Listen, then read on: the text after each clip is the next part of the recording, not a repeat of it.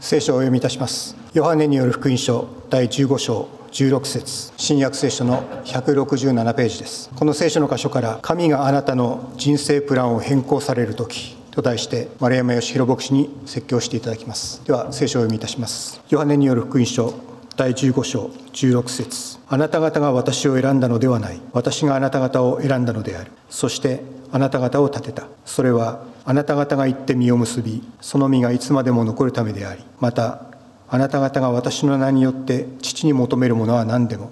父が与えてくださるためである。おはようございます、えー冬の間はですねお休みをおいただいて、えーおりましてですね、えーと言いますのは、えー雪今年も大雪でしょう。それでその山形も大雪それで私は、えー向こうをね朝の5時に出るんです。そうすると冬夏はいいんですけどね冬は雪片付けをしてからでないと来れないっていうふうなそういうふうな時もありますね。そうするともうね2時ぐらいに起きてそれでもう1時間ぐらいやってね、でもいきなりやるわけいかないですから準備してそれからやって少し休んでね汗だくになってくたくたのまんまでここにカー なんてこういうふうに上がったんではあの大変なので、えー雪が大変な時期はね、えーちょっと休みを取らせていただきたいんですがと主任牧師の高木先生にお願いをしたのはねもう去年の7月真夏だよ。ね、もう夏の時にも冬のことを見越して、えーそしてこうやると。いうふうなことでねまああのもう大丈夫でしょうぐらいの、まあ、そういうのも今朝15分くらいは最低でもやってきましたけれどもそういうふうなところで、まあ、そういうふうにしてこう私たちっていうのは先々のことに備えて前々からプランを立ててそしてそのそれそれによって大変なところを通らないで済むように上手にやることができるわけですね。でそういうふうなあの人生プランを立てて生きるというふうなことは非常に大切でありますね人生を効率的に生きることがあできるようになります。えーところがそれがねポンとね、えー変えなきゃいけないというふうな時があありますね。先日あのスマホを変えなきゃいけないっていうふうな方のお話を聞きました。あのするとねそのその携帯電話の会社の方から連絡がありましてもう 3G の電波がもうて止まるからもう変えてくださいと。ね、というふうなことでそれでなんかもう行ってと大急ぎで帰ってこないともう大変だと、えもう春にはもう電話も何も通じなくなるというふうなことで 3G から 5G にお変えに。本人はねなんだか3人のじいさんが5人のじいさんになったみたいなそういうふうな感じなんですけれども。ね、でもねご本人はね何も電話も電話とメールでねあとちょちょっとホームページ見るだけで何にも困ってない。何もこのまんまで十分幸せ。なのに変えなきゃいけないと。いうふうなねそういうふうに変更が迫られる。プラン変更が迫られるというふうな時がありますね。で、えー私たちは神様に選ばれたものであるなら必ず神様からの人生プランの変更を迫られるというふうな今日はそのようなところであります。しかしそれは神様が実を結ばせるために祝福のプランであるというふうなことまたアブラハムを通してえ神様もすでにそのことを明らかにしてくださっているということをですね、え今朝はご一緒に学んでいきたいと思います。それでは一言お祈りします。天の父なる神様冬もいよいよ終わりに近づいてまいりましたがまだまだ油断はできません。しかしこのような時にご一緒に礼拝を持つことができ御言葉に触れることができますことを感謝します。どうぞお一人お一人が今ここに集っている方々だけでなくインターネットを通しまた DVD やさまざまなメディアを通して御言葉を聞くお一人お一人の上に神様の導きと平安とそして豊かな祝福がありますように。イエス様の皆によってお祈りいたします。アーメン。さあ今日のヨハネによる福音書の15章の16節はあ今年の教会の標語聖句でもありますね。えこの御言葉で受選を決意したというふうな方もいらっしゃると思います。あなた方が私を選んだのではない。私があなた方を選んだのであると。ああ私は神様から選ばれたんだなと、ね。そういう思いを強くして、えー、クリスチャンになられた方ね、で今日はその選んだというふうなところですけれども、まあ、このところもう少し深い背景が一緒に見ていきたいと思いますが皆さんのレジュメ開いていただきますと。ですね、えー、インターネットで今メッセージ聞いてらっしゃる方は多分この辺の下のところに今日のレジュメというのがあるはずなんでね、えー、そこ開開くなり印刷なりしてご覧いただくといいかと思います。まずねこの御言葉はねユダヤの師弟関係っていうようなものこれを知っておく必要というふうなものがあります。例えば私たちでもねそうですよね。英会話でもスイミングでもあるいはお子さんの学習塾を選ぶというふうなことでも向こうの方からね学習塾の方からねあなたのお子さんを選びましたって言わないですよね私たちの方からいやどこの塾がいいかなとかねどこの英会話のスクールがいいかなとかあこの先生がいいかあの先生だったら評判がいいからとかこの先生は優しいからその先生がいいなっていうふうにこちらの方から先生を選ぶわけですね。えー、この時代のユダヤも全く同じだったわけです。先生の方が生徒募集しないんですよ。どうですか？1か月間無料体験なんてこんなふうなビラ配ったりしないんですよね。で、どういうふうになるかって言いますと弟子が先生を選ぶんですよ。弟子が先生を選んでこの先生だったらいいなと。この先生について学びたいと。いうふうにしてい、くわけですね。それが普通なんです。でその弟子入りの応募をするんですがはっきりと「弟子にしてください!」なんてそういうふうに言わないんですね。ここはね決まり文句があるんですよそれは「先生どこにお泊まりですか?」って聞くのが弟子入りしたいというこう婉曲な表現なのねそうすると先生の方が「ついてきなさい」っていうふうに言われたら弟子入り OK 合格っていうことなんですねえところがいやこの弟子お弟子さんは取れないなっていう時には「先生どこにお泊まりになるんですか?」っていうふうに聞いた時に「あなたは私と何の関わりがありますか?」っていうふうに言うんです。そうするとこれお断りですっていうふうな、えー、意味なんですね。まあ、これを知っておきますとヨハネの福音書の1章のそれから2章のカナの婚宴の時にイエス様が母マリアに「夫人よあなたは私と何の関わりがありますか?」なんか非常に冷たいように思いますがこれこれ知ってるとねあなるほどやんわりとお断りになられたんだなというふうなことがこれが理解できるようになりますね。ですから弟子が先生選ぶところがここのところではイエス様が弟子たちに対して私があなた方を選んだのであるというふうに言っています極めて珍しい正反対のそういうふうなことなわけですね。で私たちはあの自分で選ぶっていうふうに思ってますね。しかし聖書が言っているのはいやあなたが選んだんじゃないんだよ。神様が私たち一人一人を選んだんだよ。っていうふうに言ってるんですね。いやでもね私のこと考えると教会に来た時にね自分で選んで教会に来ましたよ。と。それがそれからあの田中先生の講演会あ行こうと思って自分で選んで行きましたよ。でさらにその後 TCS も行ってみようかな。教会の礼拝に出るのもいいな。っていうふうに思ってそれで来たのは私ですよ私が決めたんですよというふうなそういう感覚ですね。で私もそうでした。じゃあ教会にあの来るきっかけになりましたのはですねお酒がそもそもの始まりですよ。大学生の頃は毎晩麻雀と酒浸りの毎日夜遅くまでそういうふうなことをやっておりました何を話していたか半分はどうやったらモテるそういうふうな話をしてで残り半分は真面目な話をね、人生いかに行くべきかっていうふうなことをですねたっと話したである時ねあの酔った勢いっていうのは恐ろしいね。人生に宗教は必要かっていう話になったんですよ。酒の上でのあれだよ。ねみんな真面目に答え考えないでね。酒の上でああ人生に宗教は必要か。ダーッといろんな話をして午前2時ぐらいに結論が出た。必要だってなったんですね。酔った勢いっていうのは恐ろしいもんだ。それで私の隣の友達が「俺は仏教やる!」って言い出したんですよなんかね実家がお寺と関係のある町の名前なもんですから 寺町だかなんとか町だかっていうのでね「俺は仏教やる!」っつったのそしたらやっぱり酔った勢いだよねお前仏教家じゃ俺はキリスト教やるって言っちゃったのよで神様はねお前はキリスト教やるのかと天で見てたんだろうねこれでね、えー、次の日だか翌々日だったか私はその酔いも覚めた頭でですね、えー、家庭教師のアルバイトに行ったんです。で教えていたその、ね、中学生のお子さんがなんと工場協会の教会学校に来ていたお子さんでそれでね教会学校でちょうどあのこの街道の前の街道のさらにその前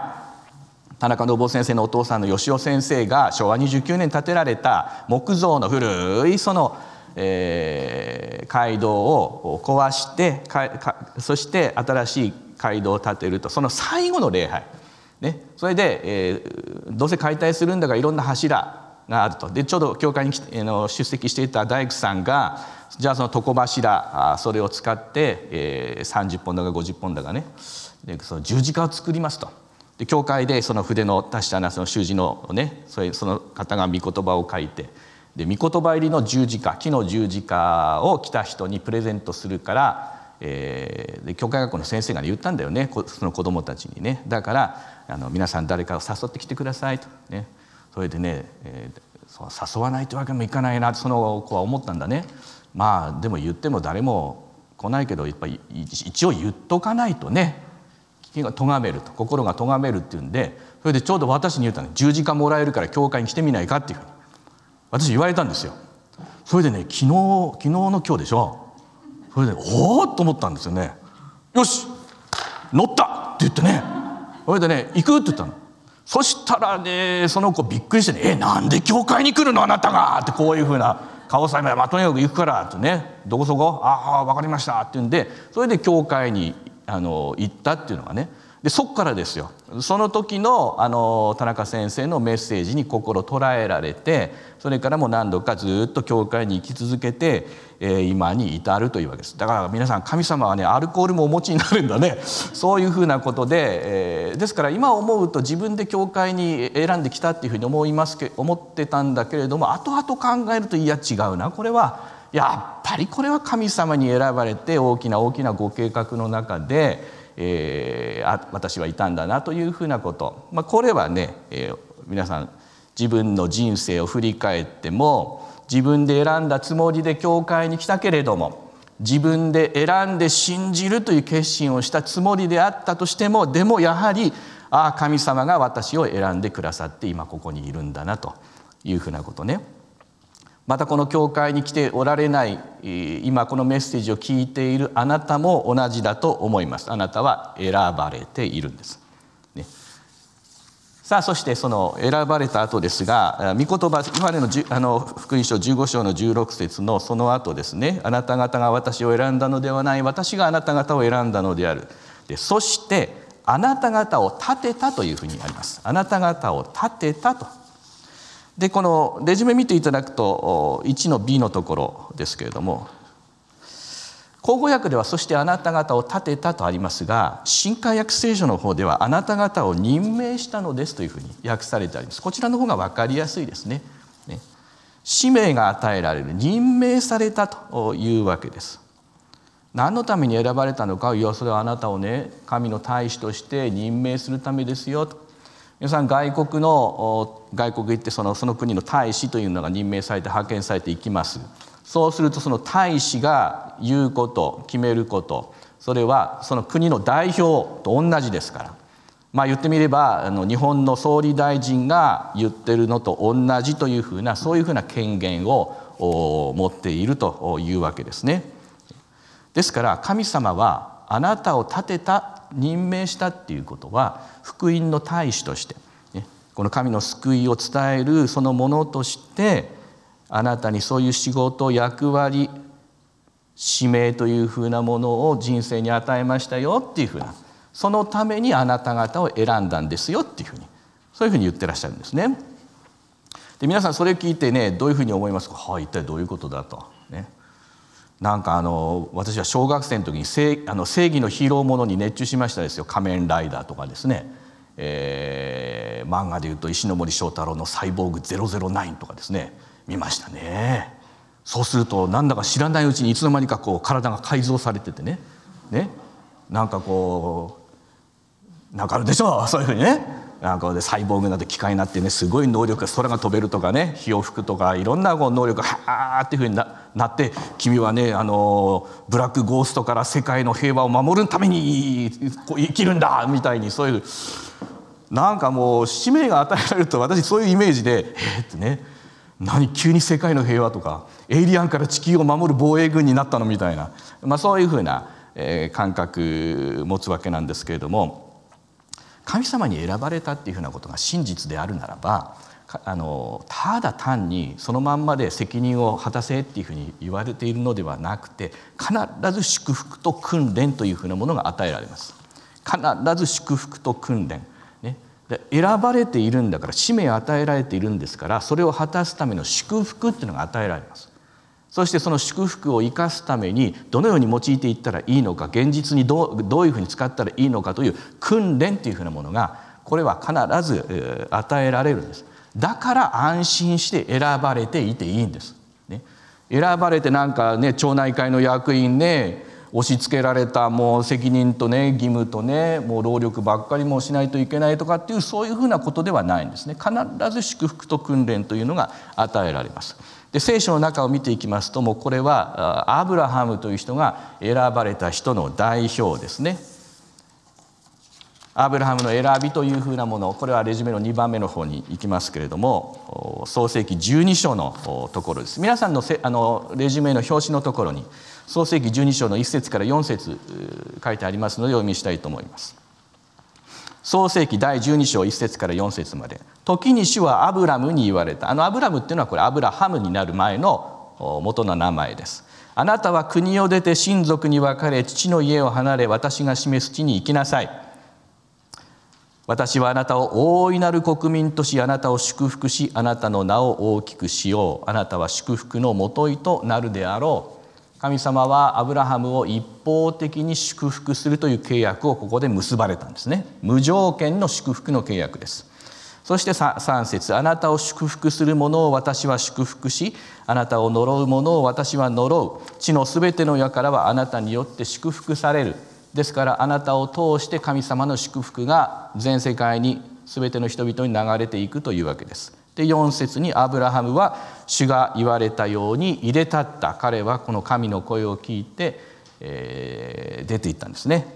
ロトも彼と共に行ったアブラムはハランを出た時75歳であったというふうにあります。アブラハムは神様から選ばれたんですね。で選ばれたものっていうのは人生プランの変更っていうのが必ず迫られるんですね。自分の人生プランから神様のプランへの変更。これは必ず起きます。でどういうふうに起きるかというふうなことで私はこれを何人かのクリスチャンの方々複数の方々にお話をいたしました。3つ3段階あるねと。そうしたらまずほとんどの人たちが「いや全く私の人生はその通りだ」というふうにおっしゃいましたですからこれはおそらく全クリスチャン共通の体験することなんだと思います。まあ、これでいいな十分だなってね思っているところから「えー、どうして?」っていうふうなそういうふうなね出来事っていうふうなのが大きいんですよ。まず第一番目1括弧ね「神はあなたの関心を神に向けるための出来事を起こされます」ボンなんだか分かんないけど起きるんですよ。ね、でそのなぜというふうに思うことっていうふうなことは私たちの生活の中で神様がいらっしゃるというふうなことをそちらの方に目を向けさせて神が私の人生をご支配してくださっているんだというふうなことを知らせるためのスタートの合図なんですね。でアブラハムの場合にはカルデアのウルから出るというふうなことでしたで皆さんの聖書の使徒行伝の方ちょっとお読みしたいと思います使徒行伝の7章のところちょっと開けていただけますかここで殉教したステパノがえー、語っているところで190ページ新約聖書190ページの「えー、使徒行伝」の第7章の1節から4節を読みいたします。大祭司はその通りかと尋ねたそこでステパノが言ったというそのところですね。兄弟たち父たちをお聞きください。私たちの父祖アブラハムがカランに住む前まだメソポタミアにいた時栄光が栄光の神が彼に現れて仰せになった。あなたの土地と親族から離れてあなたに指し示す地に行きなさい。そこでアブラハムはカルディア人の地を出てカランに住んだ。そして彼の父が死んだ後神は彼をそこから今あなた方の住んでいるこの地に移住させたがというふうにありますね。カルディアのウルというのがもともとアブラハムの住んでいるところでありました。偶像礼拝の場所であり誠の神様とは全く関係のない背景のない人生をアブラハムは送っていたわけなんです。しかしその時にボーンと起きたんだね。否定しようのない神の声を聞いたんですよ。この地を出て私が示す地に行きなさい。ね。まあ、新約聖書だったらマリアとヨセフ。ね。分かりますね。突然天使が現れた。パーンとねそういう出来事っていうのがあなたの人生の中でもどこかで起きた時というのはそれは神様があなたの関心を神様に向けさせようとしていることであります。でその時にあの知っておかなければならないのは2括弧ですね神様が用意しているプランはあなたのプランよりももっといいんですよ。もっといいものを用意していてくださってるさっきのねそのスマホのあのプラン変更っていうふうな話ですけれども、えー、もう一人の方はねもうやっぱりその電波止まるからって言うんでねもうしょうがないって言ってね無理やりなんでブーブー言ってらっしゃいました？ね、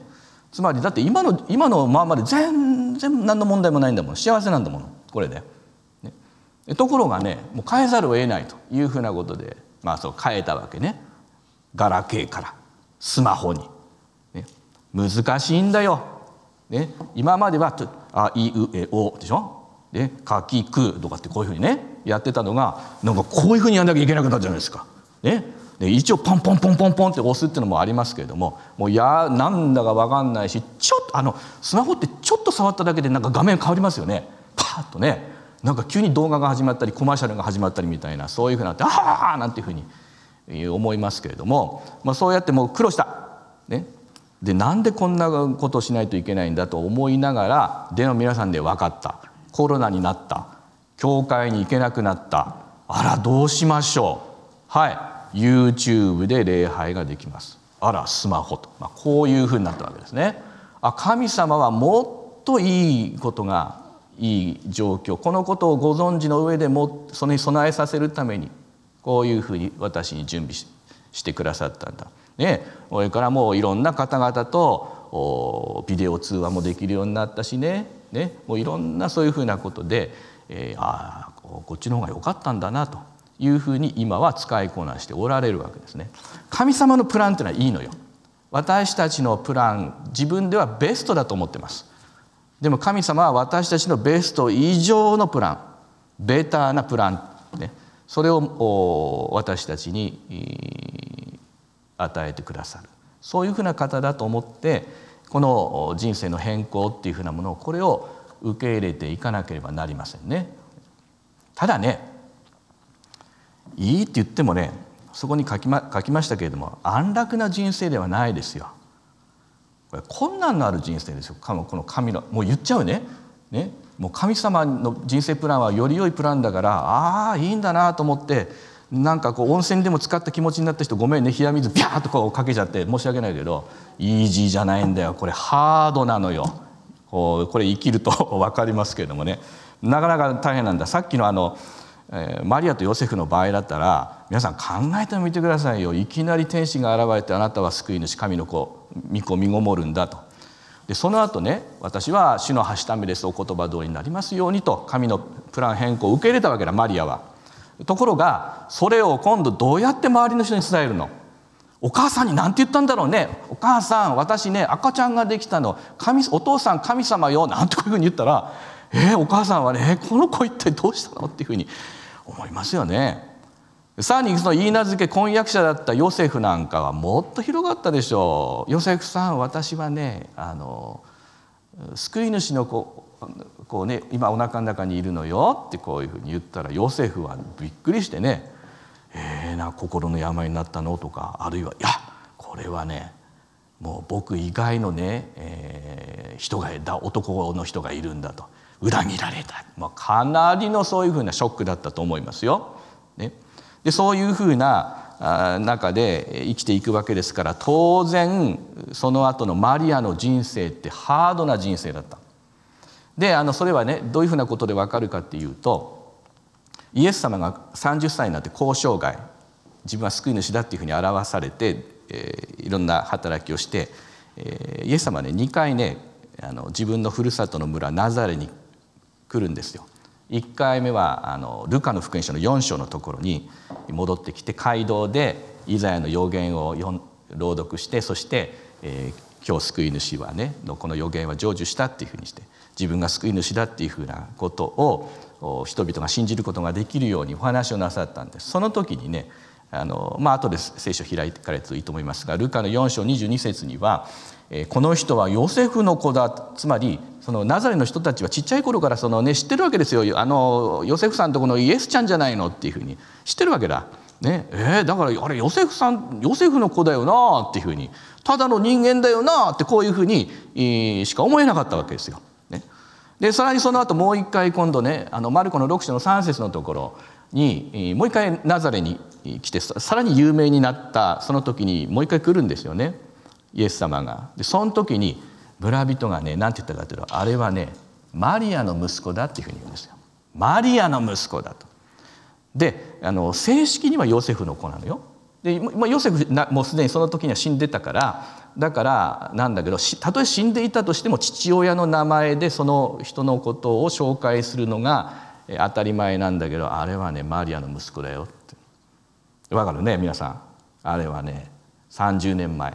ね、えー、あのイエスっていうのはねヨセフさんの子じゃないんだよお父さん別の人なんだよそういうマリアっていう人なんだよ。っていう蔑みのこの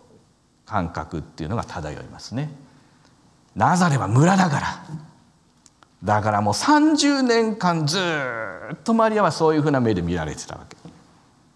だこれはね全然イージーじゃないよね。ハードな人生ですよ。神様のプランより良いプラン祝福。うんでもなかなか大変だね。でもそのマリアがその神様のプランに変更したというおかげで私たちは救い主イエス・キリストの恵みっていうのをこんなに受けてるし全人類の一体何十億何百億の人が受けているかわからない。でもそのような人生っていうふうなものなんですね。そして3つ目それは神様のプランに変更する時には神様はご自身に信頼することを試練を通して学ばせるんです。でそれは神様が分からなくなるというふうなことを通して誠の信頼というふうなものを養わせられます。ボーンと起きるでもその時にいや神のプランはもうい素晴らしいプランなんだなかなかハードだと。それやっていく。で素直に報われるっていうふうなそういうような時もあるけどもでも必ず神様が分からなくなる時っていうのを通させられるんです。さあ従っていても従っていなくても。でそのことを通して誠の信頼。これができあの作られていくんですね。それがアブラハムの生涯です。さあ、え先ほど読みましたけれどもアブラハムは、えー、表紙のところの12章の一節のところにアブラハムはこういうふうな命令を受けるんです。あなたは国を出て親族に別れ父の家を離れ私が示す地に行きなさいと。で国を出てっていうところは従ってました。えー、ところがですね親族に別れ父の家を離れっていうこの部分は実は従っていないんですね。老いのロトを連れて行ったというふうに4節書いてあるんです。だこれはねアブラハムは最初から神様に従ってない。でこれどういうふうなことかって言いますと老いのロトっていうのはアブラハム3人男の兄弟がいましてアブラハム 3, 3番目なんですよ。で長男のハランそれは若くして亡くなってその息子のロトっていうのが残されたわけです。でアブラハムはそれを出ていくでそのロトをこれを一人で置いておくには忍びないまだまだ事実できない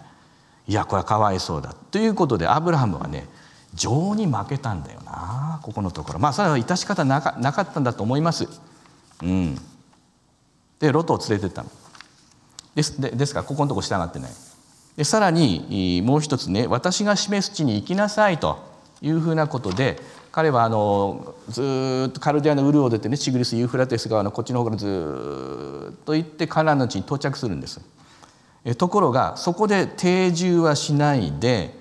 南のネゲブという荒野のところに行ってさらにそこで飢饉が起きたのでさらに南に下ってエジプトに行くんですね。ですから私が示す地に行きなさいって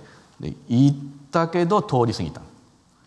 だから3つ命令があるうちの2つは従ってないんですよアブラハムというのは。ですから3分の1の従順でしかなくて3分の2は不従順というふうなのがこれがアブラハムの本当の正体だったわけであります。皆さんいかがですか？私たちも神様に従いますと言いながら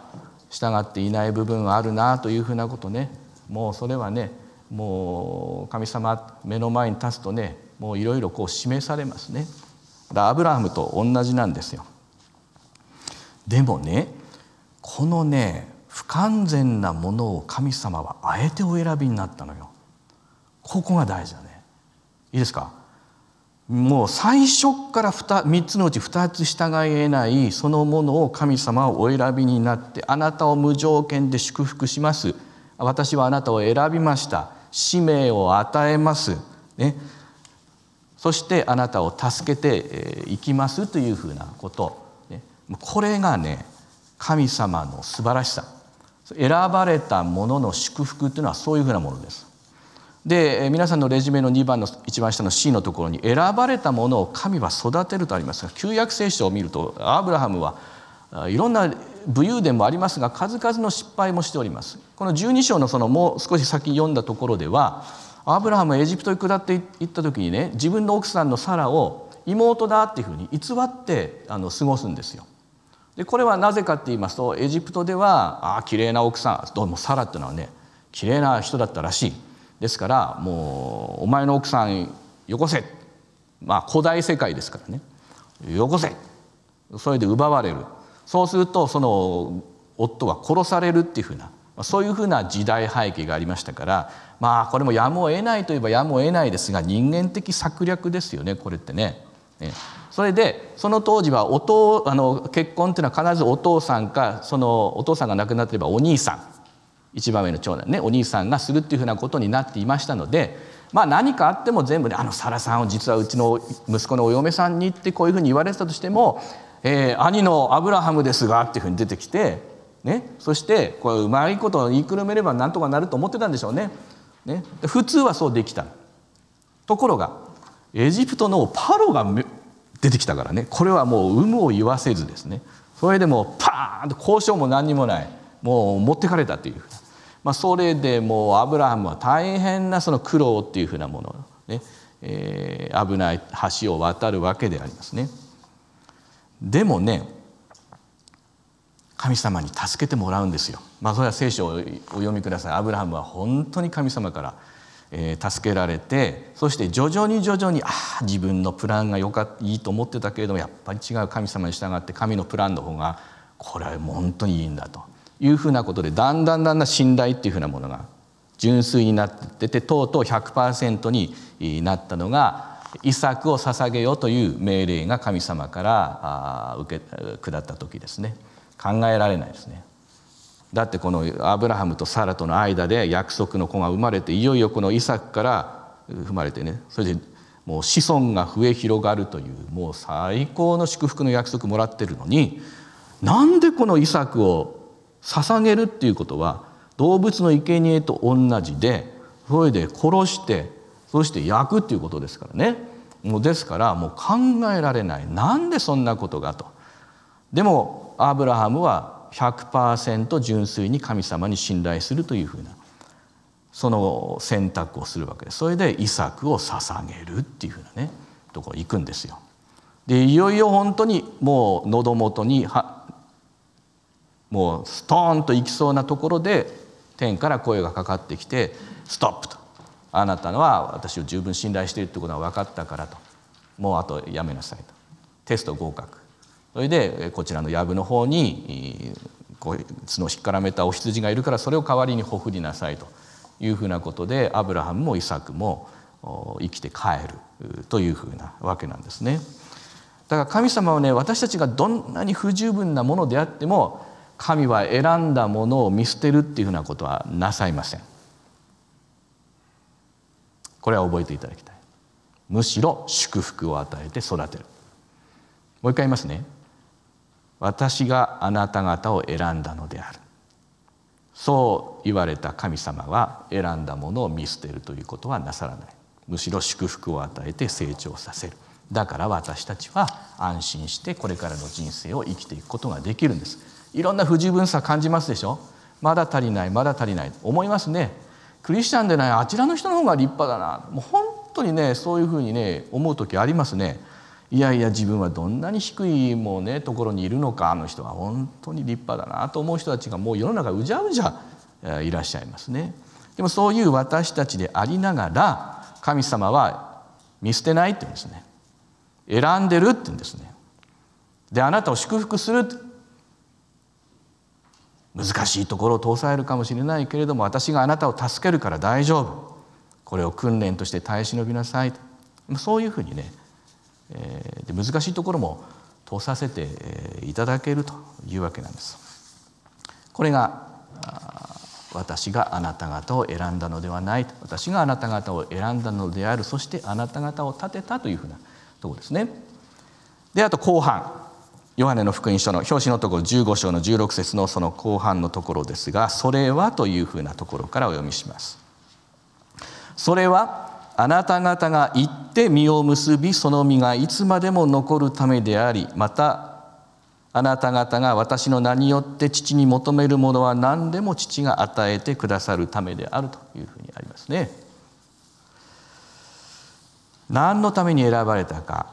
使命を与えるんです使命を与えるためですよ。その使命いただいてどうするどうするんですか？とそれはあなたが実を結ぶんですよ。とあなた方は選ばれたものである。まずプラン変更ですよね。そしてアブラハムと同様に不十分ながらでも祝福されて助けながらこの人生を進んでいくことができる。やがて実を結んでいく。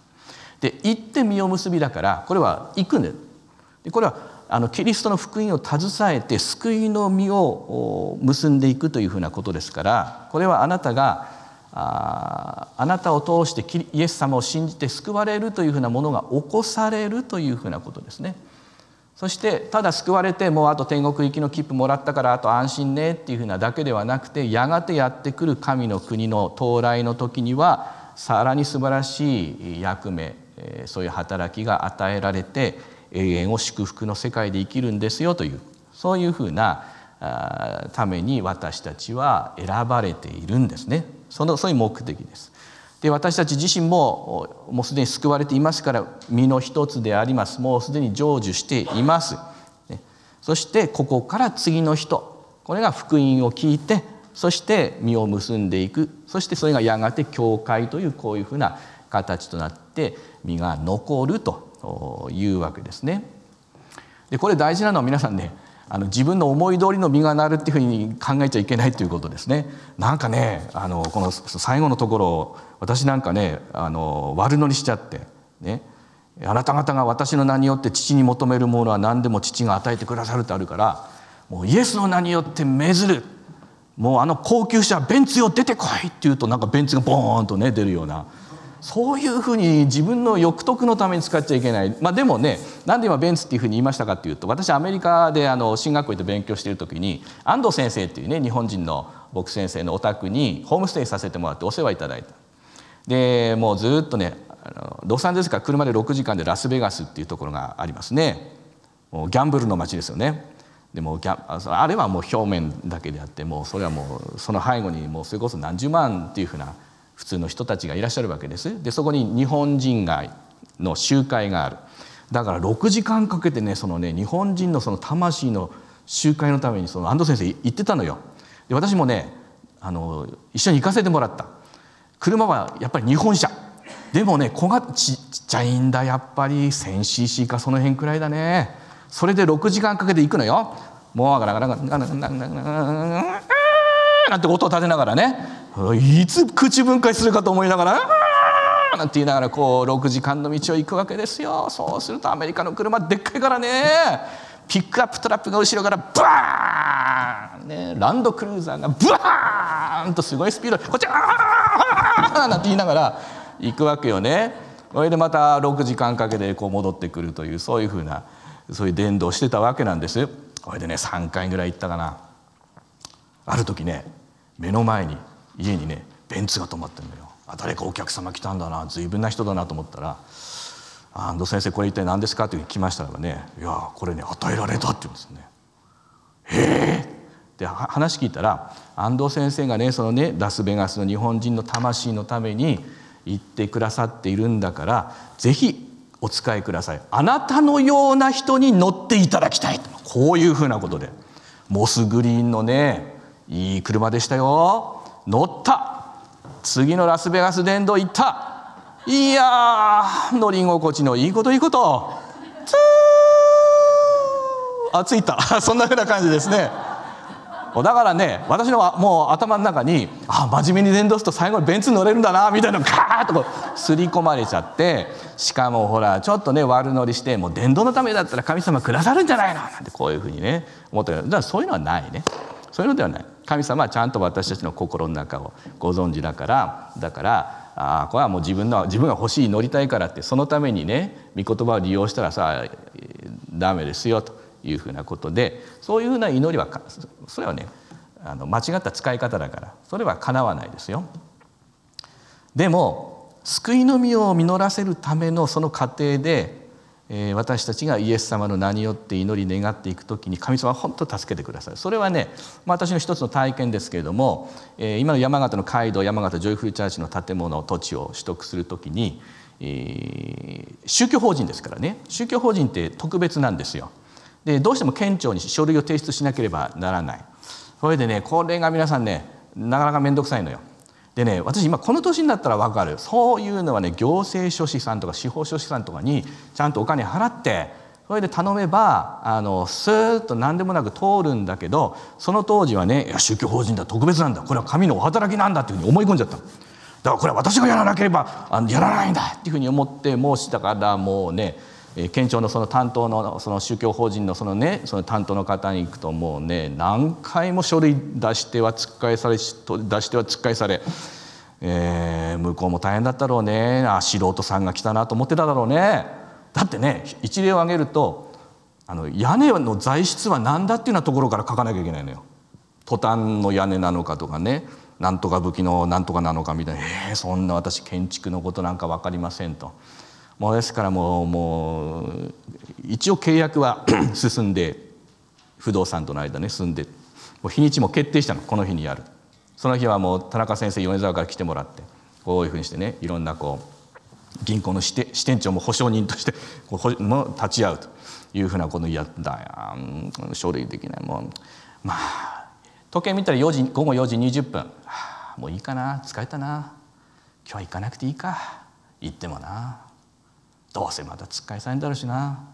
あ、でこうやってね疲れてる時って不思議と神様の声って聞こえてくるんだもんね。だからもうあ今日行きなさいみたいな感じでね。しょうがないって。それでねガタガタガタガタガタガタこうかな。えいっつって。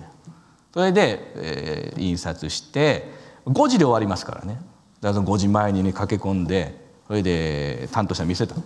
そしたらあ丸山さんこれだったら受諾できます。これで OK ですっていうふうにああよかったっていうふうにねやっと通った。そしたらその担当者がねその後一言こういうふうに言ったんで私は背筋がゾーッとしました。それは「丸山さんよかったですね」私は明日から出張で1週間いないんですっていうふうに言うんですね。へえだって1週間後にそのほらその契約の会議だったから。ね、うわこの人今日行かなかったらもう絶対この書類間に合わない。そしたらもう全部これもうキャンセルになってた。綱渡り綱渡りだったんですね。でもそうやって神様は私たちを大変なもうそれこそヒヤヒヤなところをねギリギリとさせられるんですけれども神様はそうやって私たちを助けてくださる。祝福してくださる。そして神の技を進ませてくださるというふうなこと。それは間違いのないことであります。皆さん今日はなですから選ばれているもの選ばれたものであるということをはっきりさせることです。そのためには自分で良いと思っているプランから神のプランに変更しなければならないそういうことはありますね。でも無理やり責任が与えられてお前がやれというのではなくて神様は祝福を与えてくださる。そして自分のよりもより良いプランであると。で3つ目にはハードなところを通させられますけれども神様そうやって信頼を養ってくださるということ。その神様に信頼しながら今週も力強い歩みをご一緒に歩んでまいりましょう。それでは一言お祈りします。天の父なる神様どうぞこの御言葉を通してお一人お一人が選ばれたものとして神様の素晴らしいプランを歩むことができますように。聖霊が私たちのうちで支えてくださり力づけてくださいますようよろしくお願いします。しばらく神の御声を聞くひとときを持ってまいりましょう。